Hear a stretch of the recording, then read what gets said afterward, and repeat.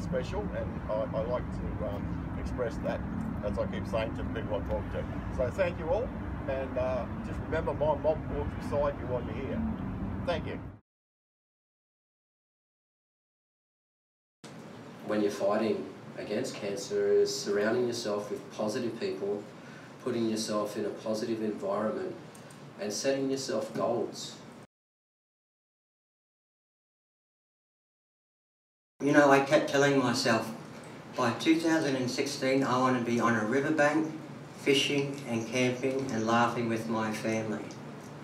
And by Christmas, I was sitting on the riverbank and I was fishing and I was camping with my family. I have good days and I have some bad days and I struggle with emotions, but other days are filled with happiness and laughter. I have discovered um, just how strong I am and how much determination I have. Each day is a gift and I'm truly grateful for.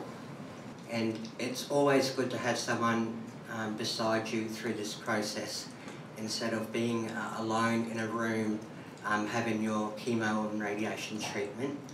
Um, I had a friend with me the whole time that would do the walking uh, and sit with me through chemo and radiation. Just understanding the treatment process, having um, someone that's willing to sit with you and not look at the time and hear your concerns through, through treatment, which really, really helps along the process. We have the best job in Australia. Are so proud of what we do and we'd love for everybody else to be able to do what we do. You know, for the mob to come there, just sit, chill out, not have to think about their cancer. And um, so it, um, we do painting, we've done weaving, we do dream catches, and it's about, you know, the mob just sitting there having a yarn and doing activities and not having to worry about their cancer or where they're actually at. Just to let them know that if you know you do go and have those tests and they do become up positive, that that's just the start of creating another family around you. It's not being isolated or anything like that. That's where Trish and I really step in and just support you the whole way through. Um, because it's just such an important part is, is having the support not just in the community but when you're in the hospital that's that's when it's really isolating and as you know mob like to work as mob, not just as one visitor at a time. So it's it's getting the staff to understand how important just some of the cultural needs for our clients are. And, and I want the message to get out all over the place and I want to be able to share the resources and what we do um, to help support anyone else that wants to start to run a few programs like we do.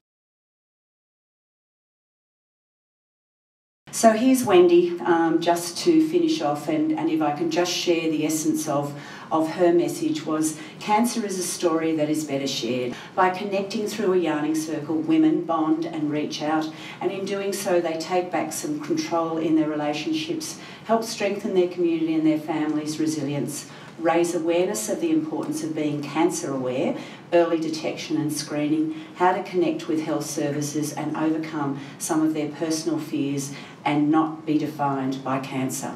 This art and this, this context, the turtle represents coming together, sharing ideas, stories, knowledge to take back to our communities it also represents two organisations, two worlds coming together for our Aboriginal people. And that's the way she ended the workshop, and we were like, wow, that is just amazing. Really happy to be here because already I'm going, oh, there's so much that can be done. People are already doing, and people are so friendly and helpful and um, offering their, you know, own experiences and, and give us contact details and stuff. So I really appreciate all that. Um, and I'm hoping that between Walgett, Bree and Bourke, we often, you know, are involved in Bila Muuji uh, Corporation and um, it'd be really good if we can also support each other as a network in the future with this a lot of it could be really easily done too. It's just kind of getting a bit creative, I think, and, and, and understanding the value in it. So thank you for showing me some of that because there's some really great ideas I think that I can take back home and, and do with, with no money at all, essentially. You know, it's just about being creative and, and thinking outside the square a little bit. So thank you. Sorry. So just remember, link in with everyone and reach out and, and share all this sort of stuff and support each other. Because as you can see, it will come back around again. So um, just so you know, this is, you know, it's not just a talk fest, this is where you'll really get some stuff done. I'm hearing a common theme across the room, you know, people feeling remote and isolated and alone. Whereas we've got a group of people here who are motivated to want to make change. And so let's go around the room, as I said earlier in the day, and talk to someone you haven't met before. Exchange contacts and talk about what you can bring together. You know, with this impact of uh, social media, you know, we could make a big group here together and so that everyone is kept informed about what you are doing in your area. We're interested in connecting and supporting services because we're not just doing research for research sake, we're doing it to make a difference for our mob. Cancer's affected my family, as I'm sure it has everyone else in this room, and we have to actively do something about it.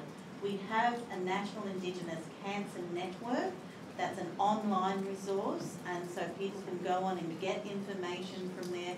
We constantly try and update it, and we're actually extending that to an international Indigenous cancer network.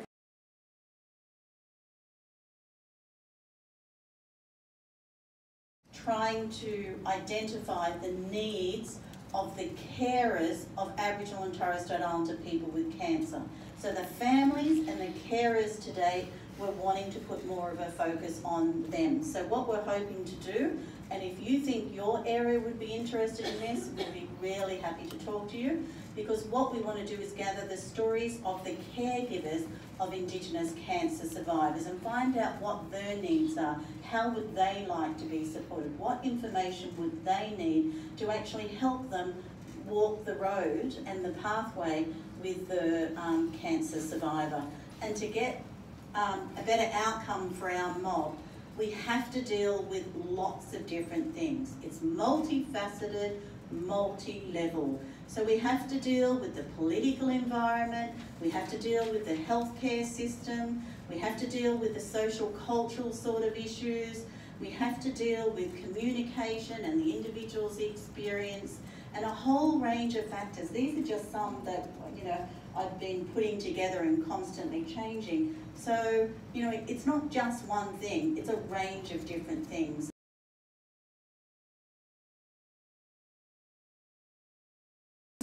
Collect information about our services? And I think when you're setting up new programs, it's really good to just work out where you're at, to collect some data, to just work out the level of need within your community. And it helps you plan programs. Basically, funding agencies, they want data. Was surgery successful? Was treatment successful? Was vaccinations actually successful in preventing the, the onset of uh, particular cancers? That's the, that's the data that I'm excited about. Uh, transportation is very much something uh, that can be a hit and a miss. Some of our services have um, have transportation, but you know there's quite a few out there that don't. And that becomes a real problem, particularly where you've got to then transport a person from a home or an AMS to a hospital that's hundreds of k's away. Uh, that, that becomes really problematic. But we need, we need as a group, a state-based group, uh, whether it be through an advisory um, committee or a reference group or whatever, we really need to hone down to what data is required, what is quality data. We don't want crap in, crap out. We want data in that's going to be useful for us to then provide a meaningful and very positive and good quality service delivery. That's where I'd like to head. So I'm talking about implementing the supportive care needs um, assessment tool for Indigenous people into routine cancer care in Australia. So the tool's been developed and now we're um, training people and saying if you would like to implement this in your service, we'll support you in whatever way that you can to do that uh, by providing you the tool, providing you some additional resources how it might be used. So what this tool does is try and identify from the patient's perspective what is it that the patient would like some support with.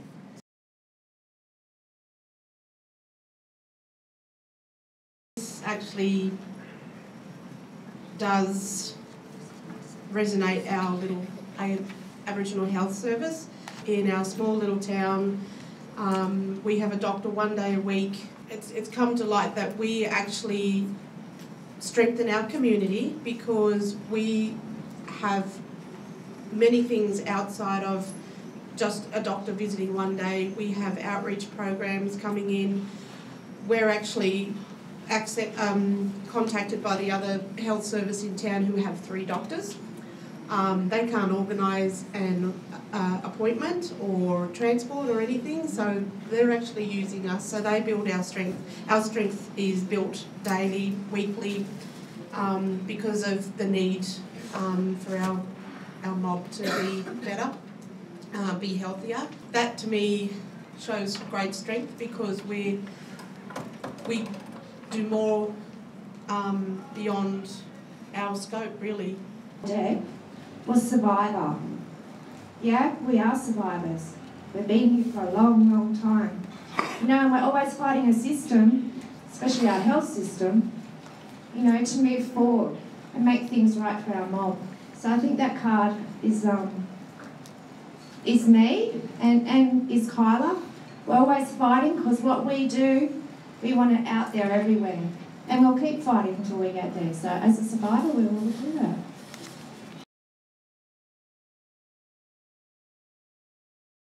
To build trust with that community to work in that community, and it meant that uh, we have to keep our word, meant that we have to be uh, honest and transparent, and also everything that we did was from a community base. So that involved elders and families with the planning of the programs and events out there from the start, not planning something and going in and, and asking if it's okay, like starting from the start. This is, we have a little bit of money, um, we have a few ideas, let's do this together.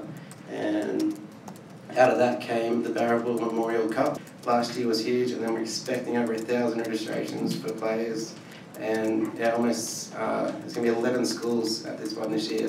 We want to take our clients alongside us. We want to walk alongside them on their journey and not just tell them what to do, but actually find out what is going to work best for them. But Butt At Kids About is our most recent, and what we did is we actually filmed in um, Delegate Aboriginal Preschool in Kempsey, as well as in Coffs Harbour. So we were able to um, utilise our own young people from community and the aunties who work in, the, in there and singing in language and it was, it was a fantastic campaign that went on to commercial television. It's really interactive and that's what I love about what we do is that we can come at this from so many different angles. It's education but it's entertainment because we know people learn when they're having fun. And it's amazing how well humour helps to get your message across. Trish was saying we are a holistic service, so we cater for women whatever journey they might be on. Um, so with the TIS program, we encourage women to reduce smoking levels and achieve better outcomes. We provide opportunistic support wherever the client is on their journey. Everything we do goes like into the community for community.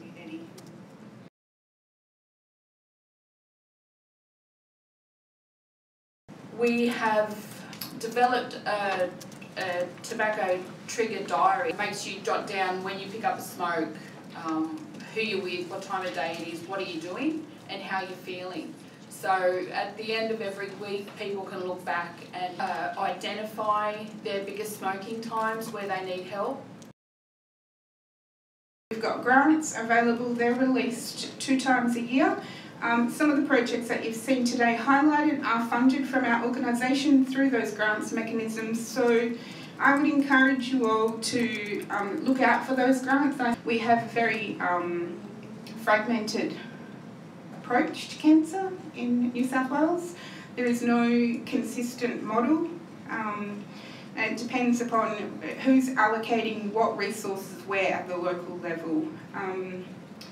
I would like to think that a lot of our grants could um, gather enough information to trigger a review of that within the system so we can have a look at a more cohesive approach. The take-home message today for you all would be to have a look at what um, processes and partnerships are in place at the local level. If you don't have grant writers or access to um, anyone at the local level, use your partnerships. How are we engaging with our own cultural protocols in online spaces, which are now extension of our lives? Um, how is it that we teach our young people around, about cultural protocols online?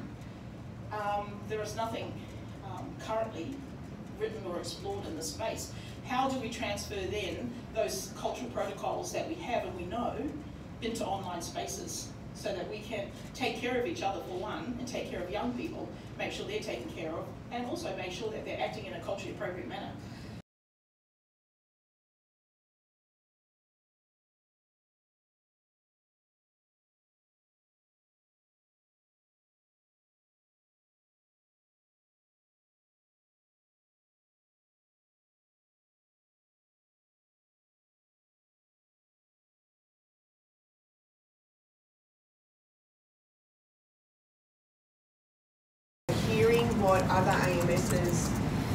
Doing around cancer and, you know, TIS has been a real eye-opener for me. So we're all AMSs, we all get funding, it's usually the same funding. Yes, my AMS may not get what your AMS does, but your AMS gets the same as this AMS.